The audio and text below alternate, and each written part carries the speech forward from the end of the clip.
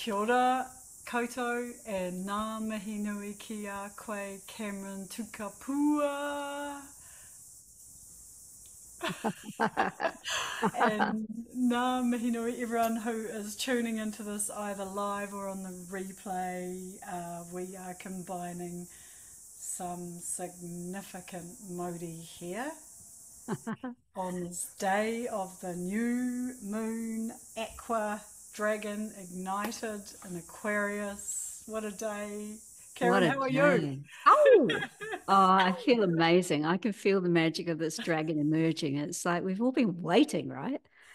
There's such a go forward energy now. You can feel it. It's like, like this in the atmosphere. Awesome. Love it. So I'm really excited about this interview. And uh, just to start it off, because if people don't understand this, in our culture, we give a little intention, a, a karakia or a prayer or a invocation, which just means that this is a divine meeting of hearts with us together and with you, holding space for each other. Very Aquarian. So I'm into sung karakia this year, so I'm just going to sing a little song about the heart and about love. Mm-hmm. He aroha te whakapono te rangi mari e ta. Tacho, tacho e. Yeah! Te Māori ora. Okay, we're present. And I'm going to introduce this wonderful woman that uh, we are going to be learning so much from today. If you do not know, Cameron Tukapua is a healer, a leader, teacher, and visionary. Her lifelong practice in Chinese medicine and archetypal studies are the foundations for her offerings. Cameron has written a book of heartfelt living available on Amazon and has been featured in Thrive Global. My dear friend Cameron helps people connect the heart and the mind and claim their power to rule their lives. Woo! Yeah, welcome. Let's do it. Take it away, Cameron. Here is the first question. Okay, three okay. Waiting, waiting. Here we go. Here we go. What's your what is your mission vision in three words?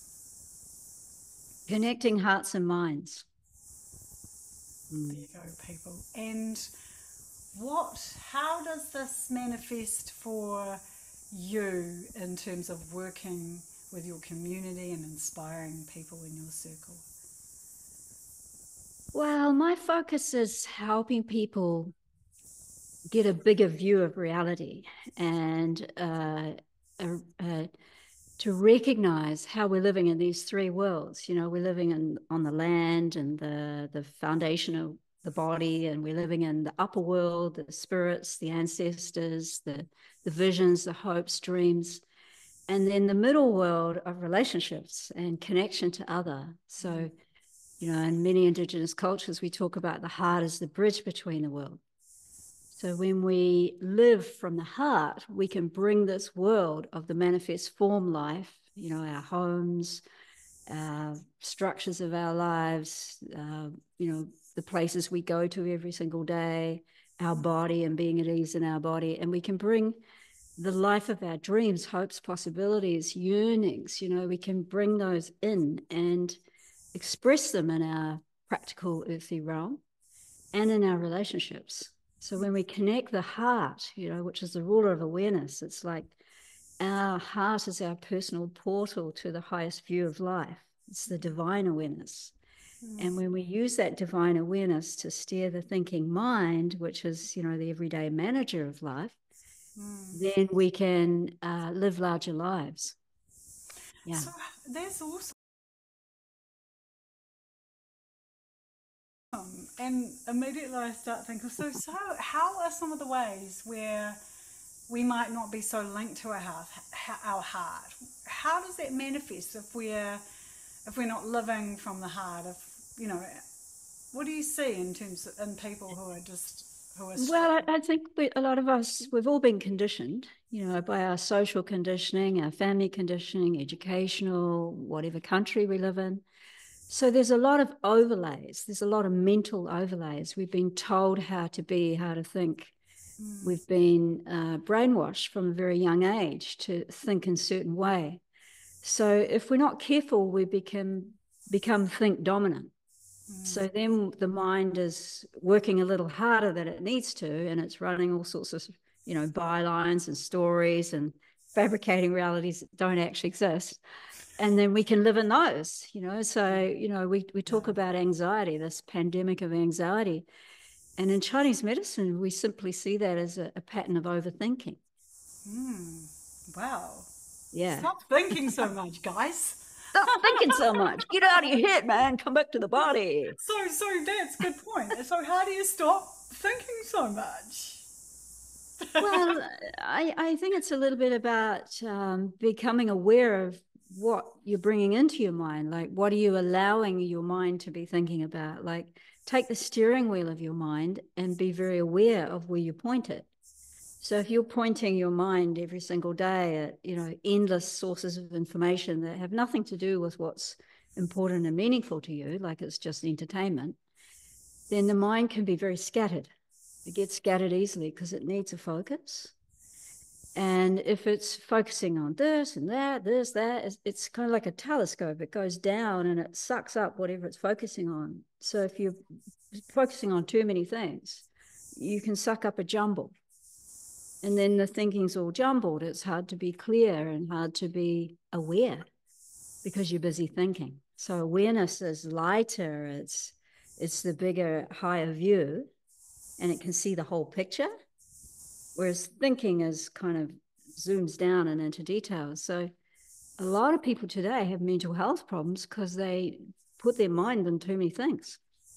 Mm, that's really and and so when you were talking about you know this whole idea of heart felt uh, or heart driven thinking and connecting that up was you know give, can you give us some practical examples of what that is like how, when you bring in what's the difference between normal thinking and um, more of a heart heart uh, connected mind or heart connected thinking that's the word I wanted heart connected thinking I turned your well, heart connected thinking is, is just about being very awake.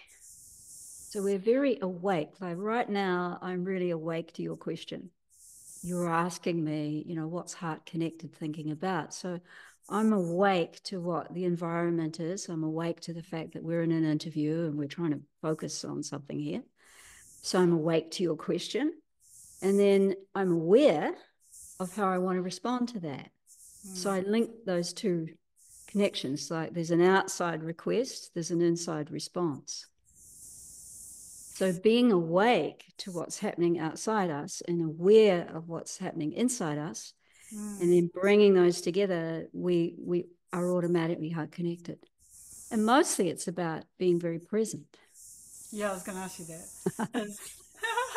so, so how do you get how you teach this and you're with people who've got conditions because they're not present right and they've got you know thinking challenges and body challenges so how do you get present well you just choose i love it choose to be present choose yeah. to show up right here in the moment you're in yeah. with the person you're with in the situation you're in give your energy to this very experience. Be awake to what the experience is asking of you. Be aware of how you want to respond and connect based on that. So here we are, like we're in an open-hearted space. I love you, you love me. We're coming from the same place. So there's a there's an openness. it's an openness and expansion, you know, from the get-go. So we can go, we let's open up around this.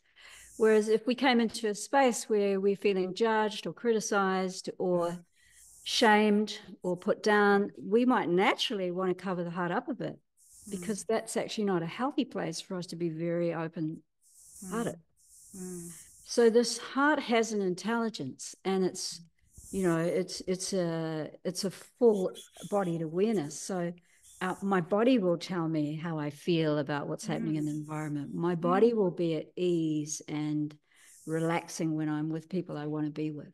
Or my body might be a little more alert when i'm not feeling that comfortable and connected. And so just with that uh, you help people with heartache and relationship challenges and who can't be present in their relationships. You help them with healing and how they grow so that they can be more comfortable with showing their heart. So, can you just walk us through the process that you essentially use with someone, say, who's really comes to you and says, My husband's just a bastard, or my mother's driving me crazy, how mm. do you walk through your, uh, you know, I don't want to make it make it really small, but how do you how do you actually help people to come into this heart centeredness in their relationships? Well, I think being aware that communication, you know, and heart centered communication, or any type of communication, thinking communication, for communication to be effective, you've got to really consider what's the context. So if you're saying, okay, I'm in a relationship with a bastard, my husband's a I'm bastard. Not, by the way, I'm not. By uh, the uh, way. example. okay, let's say somebody else is in a husband relationship with a bastard. Then you know the question to ask ourselves: Is that true?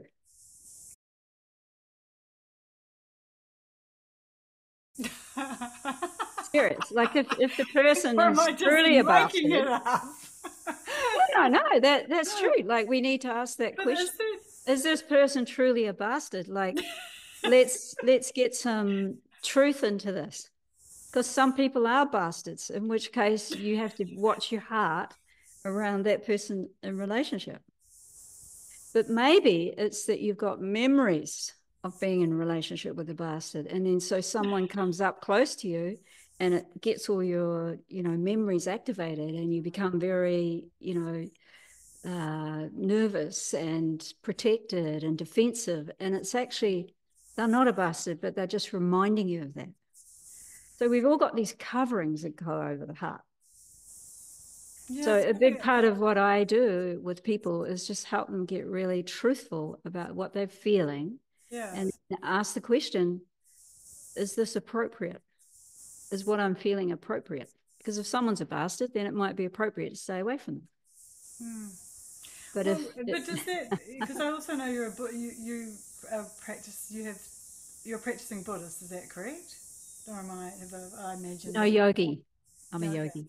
Yeah. yeah. So in there in some of those traditions, there's no nobody is any one thing. It's just that our repetitive thoughts towards something mean that we have a story. So in the case of a bastard, and I'm just saying, you know, yeah. the, the, the word for a start and uh, is comes from us. A you know, it's, it's, a, it's a conditioned word, and we've told ourselves over and over, and, and that essentially can come from it can come from our family situation when we're young, and it can come from you know when we're accumulations through our life. It can come ancestrally.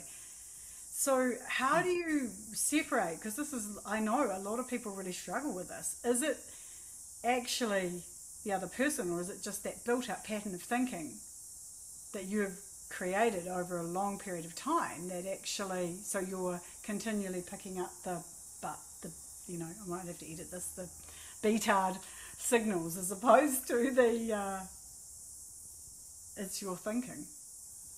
Mm, well, I, uh, you know, back to what I was saying before. So we've got awareness, which mm. is the highest view.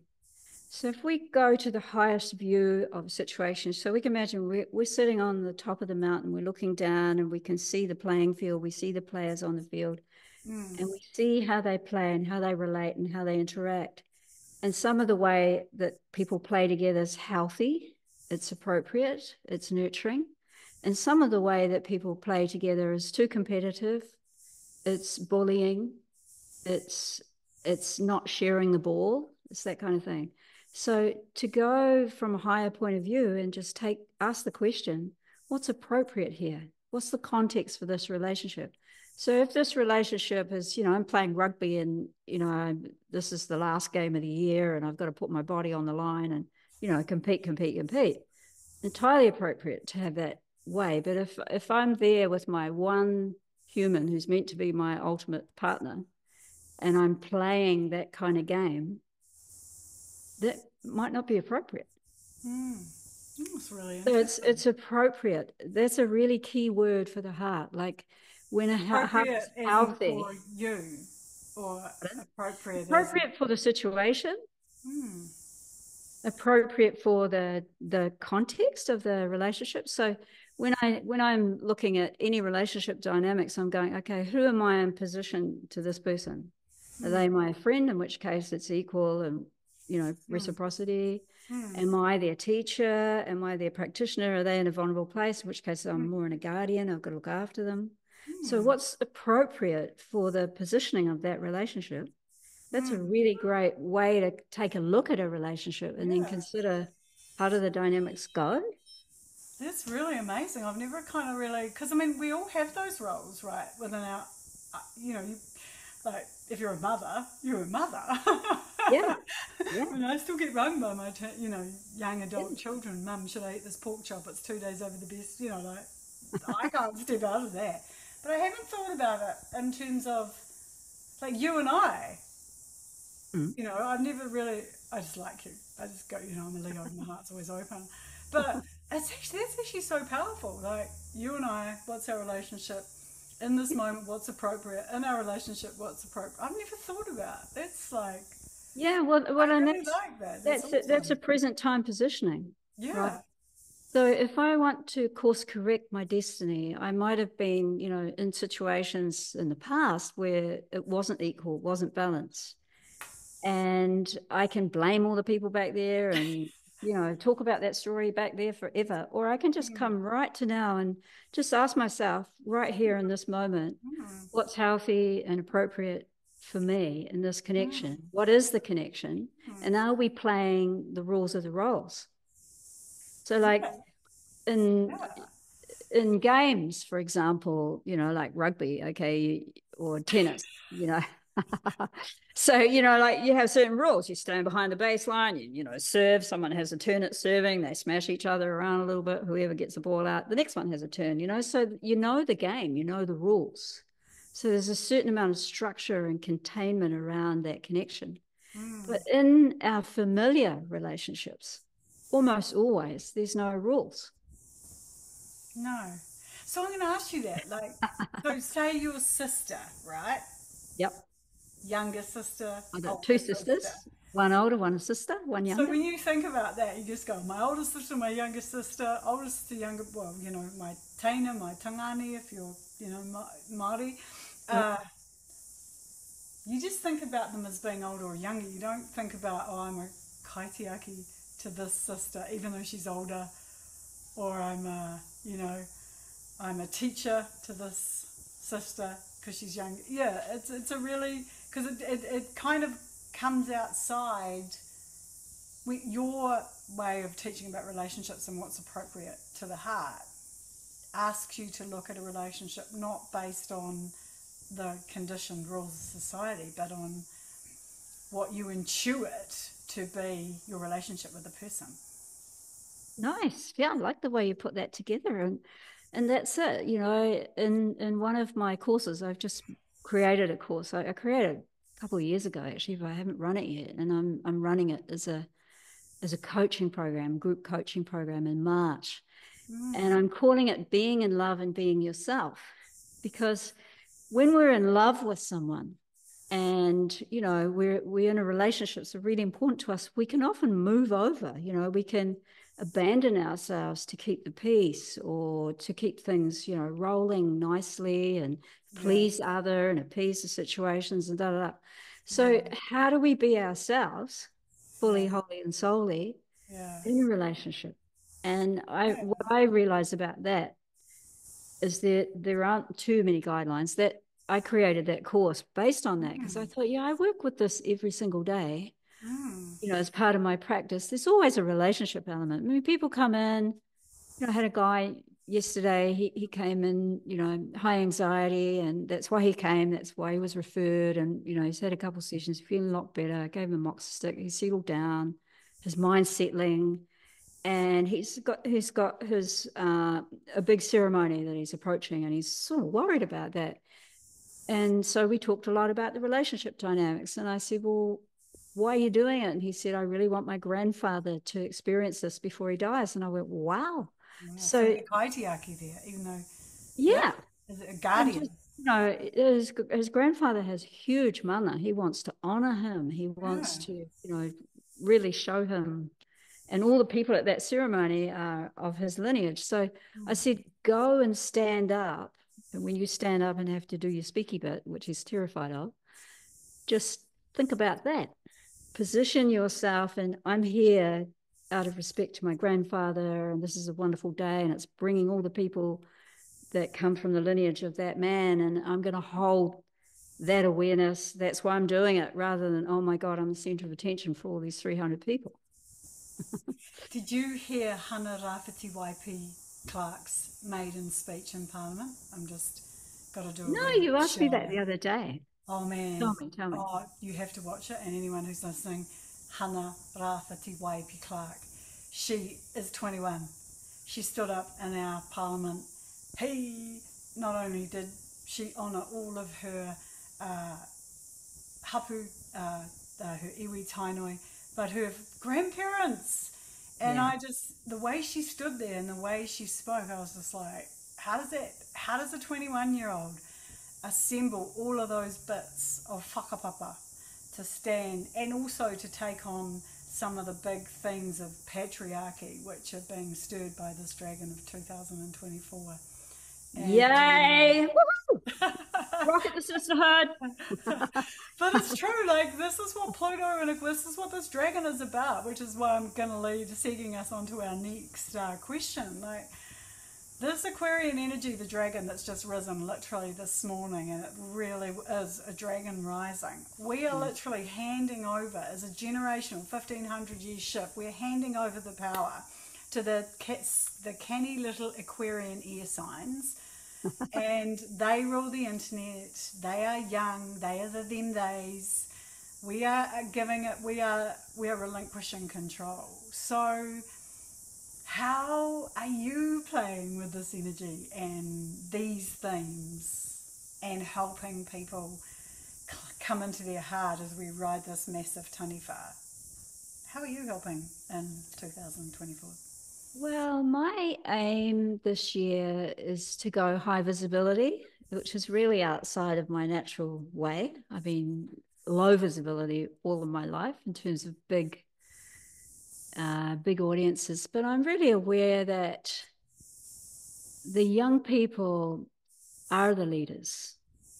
And I'm aware that the young people that I know are teachers for me right now. And, you know, I'm very aware they've come with this new lightness of being. So my generation, I was born in 61. So I, that was when the Uranian energy was coming into being. And now we're like 60 years on. And those young Uranian leaders are here now. And I feel as a Uranian individual, I want to sort of put these ancient wisdom teachings out, plain, simple truth, like how to honor your heart, how to honor other, how to connect, how to have heart to heart real relationships, how to be true to you, like all this simple, simple stuff that people don't know because these young people are connected. They're doing Facebook, Twitter, blah, blah, blah, blah, blah, all that, you know, they can virtually just send that stuff out far and wide, which is really exciting. As you know, I can barely set up a Zoom. Oh, so, you know, it's Don't like, you know, that. they, they can spread and Don't share this stuff really fast. Don't say that on the internet. Oh, sorry, sorry. Reframe it. please. Sorry, I reframe it. So I am myself right at this moment taking off on the back of the dragon with the virtual world. Like I have been waiting, pausing, ready for my pounce moment. And this is it, 2024. Like ride that dragon, baby. I love that. That's such a better way to talk. That's way there more you go. appropriate. Thank you. That thank you. honoring your relationship in this moment with the Aquarian dragon. There we go. Thank you. Appreciate that. Appreciate that. I will never dish it again. I'm going to lock that in. Yeah, no, because, and I really love that you're, you know, I think, uh, but I would like to bring up a question, I guess, around, because one of the things that I notice is that one of the struggles with the online space, the digital space, is the bombarding of information, the isolation, the disconnection, the loneliness, the overwhelm. So how can how can we manage that and also deepen who we are in our hearts? hearts? Well, I, I think in terms of uh, individual management, is turn it off. Not now, please. not this moment. Don't do it at this Not moment. Not during an interview. But you know, you, you, you can use it for meaningful connection. Mm, and have some purpose around your connection. And if you're just mindlessly scrolling and you're tired or you haven't been outside today, then just turn it off. Like, I, I laugh when I hear this thing about AI taking over it. Like, AI has zero power with us turning it on, right? Zero. So we are the powerful people we have the power. We have inner technologies that are being awakened, mm, and this capacity to connect and share and, and spread. The AI is supporting us to do that mm, and come together. You know, a thousand people can come together in one space and, and do some meditation and send some meditation energy to someone that they love and care about. So we can use it in that way. And then I think for individual use, it's really important to recognize that consuming thinking is the same as consuming food. It uses the same energy. mm. So we use digestive power to digest thoughts and ideas and information in the same way we use digestive power to digest our lunch. So mm. you wouldn't just sit, you know, for five hours and just eat, eat, eat, eat, eat. Come on, some people. Well, you would have had a feast, you know, like a Maori feast or something, but you wouldn't do it on an everyday thing, right? So that that's what mm. people are doing. They're just indiscriminately eating, eating, eating, and, then it's, real- feeling it's really funny you say that because I was with another teacher and she was saying because of the way, particularly wheat and some of the processed foods that we have, it means our digestive system never gets a rest. So at night we're not doing our healing because we're still digesting. yeah, And that's so true of our thoughts, as you said. Like you, you know, so we have to. rest and digest. Yeah, we do. And and Yeah. I'm also thinking just on what you said. Do you what's our relationship with the internet, with our socials? what do you say or is it a change? That was a bit of a I'm not sure what you're asking. Well, you you were talking about relationships and how it's so important, and essentially, I was asking you what do what is our relationship with the internet? What is our relationship with social media? It's whatever you choose it to be. But do we ask that? And would you? Well, I do. help That, us? that's why up until now I haven't really been engaged in it much because I'm I don't do Twitter like as in you know. brrr. I'd rather be quiet at the beach, having a body surf, go for a walk outside, um, you know, cooking a nice meal with a quiet mind. Like I really value quiet mind because I had to learn from a young age how to steer that because there was a lot of unquiet mind around me, and I thought I don't want to grow up like that. So I've put a lot of energy into keeping my mind, you know, relatively still, and I can still it whenever I want to. So that's of high value to me. And so for me, using the whole social media thing, it's like I'm messaging out things that are meaningful for me around that. I'm not wanting to message people and talk about what we what I have for dinner and take a picture of it. So how do you want to use it? You know, that's up to you. And so again, I think that there's almost this misconception that AI is ruling us. It's like, no, we're the ones with the power. Yeah. We're the ones with the on button. And if we don't, you know, like having too much digital stuff in our space, just turn it off.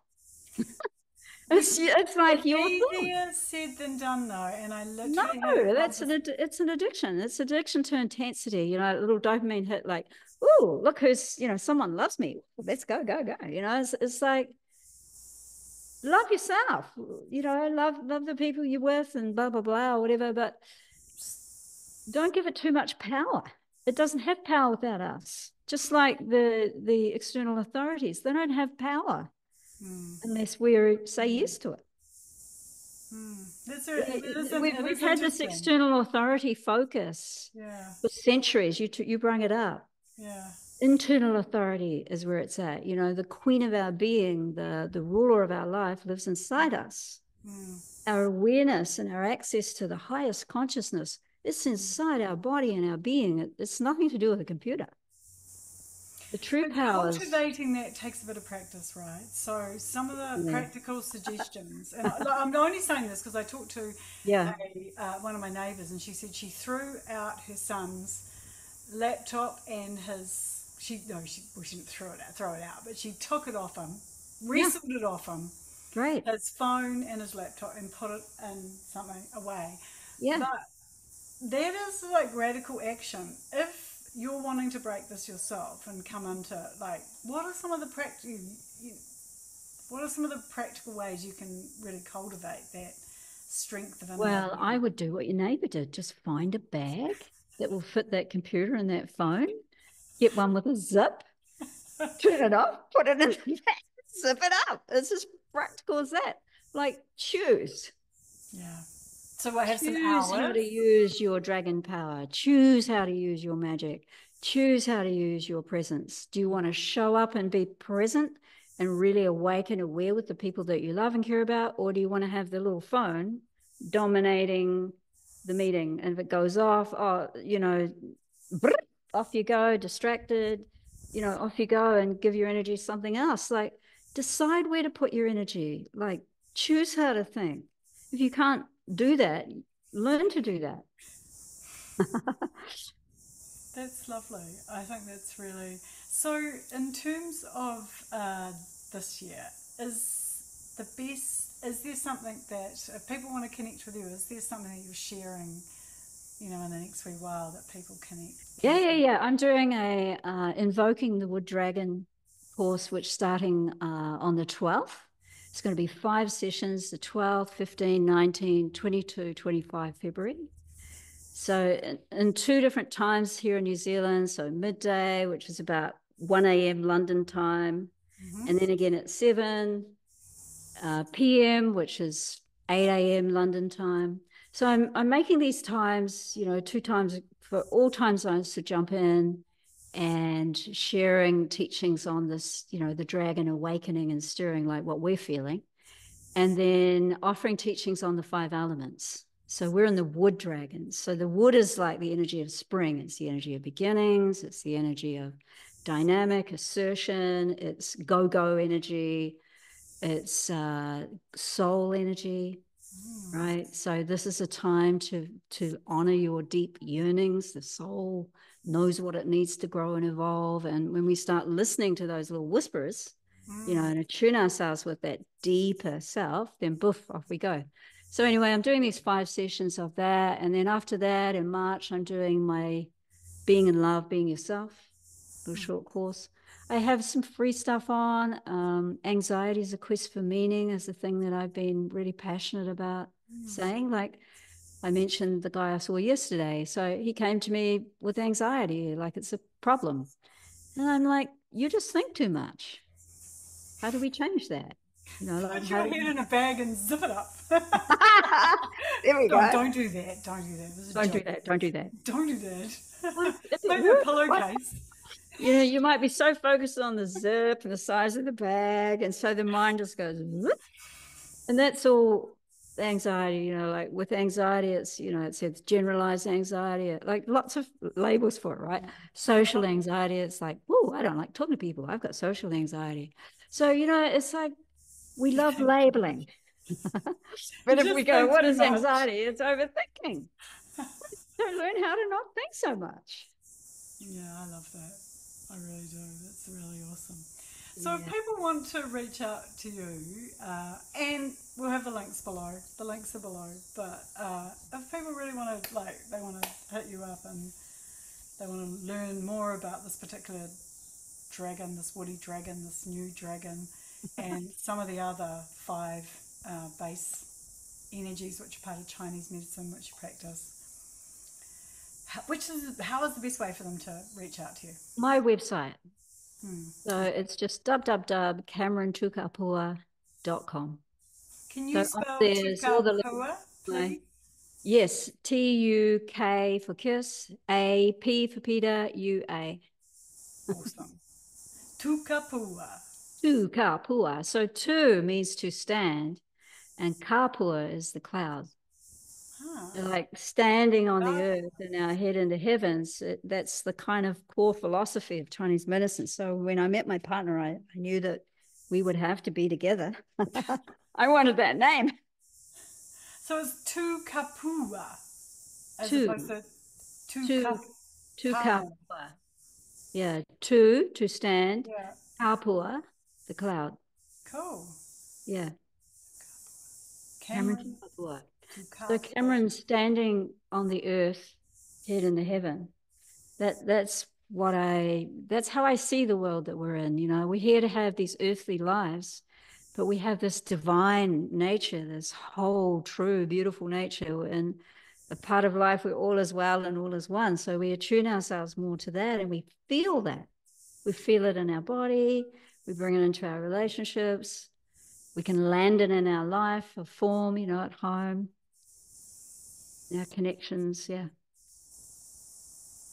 That's what gets me up in the morning. I, I just feel like god we've been living in such a weird paradigm for so long and and i see the crazy people in the world people with mental health problems they're just extra aware. They're not crazy they're the barometer. So you know we we label all this stuff depression anxiety as a mental health. It's like no no no. It's it's actually the psyche going i'm disturbed. Mm. what are you disturbed about? Well if you thought that the the narrative that we're being served up was the was reality you would be disturbed. But there's a truer reality you know we're all as well all as one. People are mostly good and beautiful. Like most of the people you know are good and beautiful right? Mhm. there's a few bastards you know genuine bastards. You know a few people that have really lost their way and you know they need to be put in the naughty corner and time out. So it's like you treat them like that. You stay away from those people. But most people are actually pretty good. Mm. and that is the truth of the world. But we're served up a world like there's a war on every corner and there's you know poverty. Yeah, there's there is poverty. There's there's no doubt that these issues exist. However in the background of our lives all our lives we have communities families you know friends people that we know that we can lean into for support and we can give them support and, and that changes everything I love that. Thank you very much for that, Cameron. And I'm going to ask you to close with your wisdom and your beauty and your heart to close our session. Remember, everyone, links are below if you want to reach out to Cameron. I'll use the same karakia. Te aroha, te whakapono, te rangi mari e tato tato e. Thank you, everyone. Mauri ora. Mauri ora. Kia ora, thank you.